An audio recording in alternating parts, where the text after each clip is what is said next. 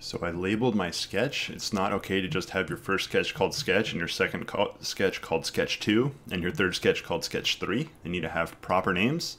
Uh, so this is figure 8-27. You can change the name left click and it should let you type in the name right there. Hit enter. All right, when you're done, you need to hit finish sketch. You'll notice all those dimensions disappear. That's totally okay. If you highlight it again, let's see. There we go, double click that and you can get back into the editing mode. So we're done with this one. We're gonna make it invisible. Now we are not editing that sketch anymore. And what we're ready to do is create another sketch.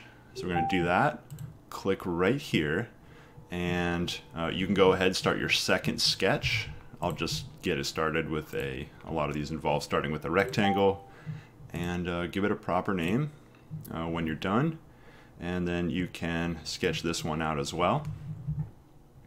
And then of course you're going to do the third sketch also.